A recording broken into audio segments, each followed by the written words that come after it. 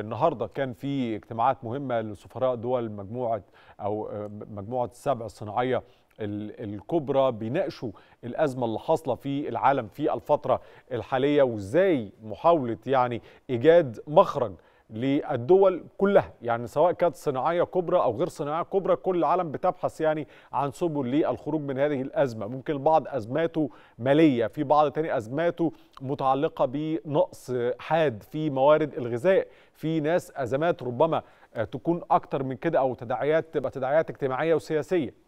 هنتكلم مثلا على في هذا الاجتماع يعني سفراء مجموعة الدول الصناعية السبع أعلنوا النهارده وجددوا مساندتهم لمصر في مواجهة أزمة نقص الحبوب اللي تسببت فيها الأزمة الروسية الأوكرانية وأصدروا بيان عن سفراء كندا فرنسا ألمانيا إيطاليا اليابان المملكة المتحدة الولايات المتحدة والاتحاد الأوروبي القاهرة.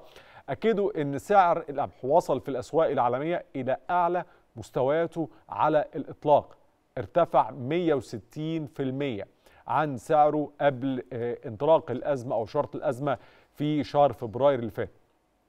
كل الدلائل بتشير إلى تحديات أكثر صعوبة قادمة مش بس على منطقتنا ولكن على العالم كله نتيجة لهذه الأزمة.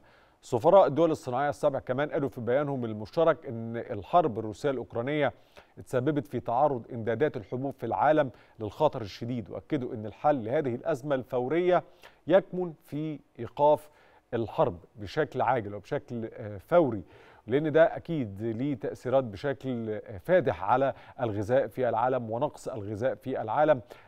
نسبة كبيرة جدا من المزارعين مثلا في أوكرانيا لم يتمكنوا من جني المحصول خلال الفترة اللي فاتت وده برضه ليه تبعات في نقص شديد في محصول القمح. هناك كمان أكدوا إن مجموعة السبع بتقف إلى جانب مصر وتدعم مصر خلال هذه الأزمة اللي خلفتها الحرب الروسية الأوكرانية.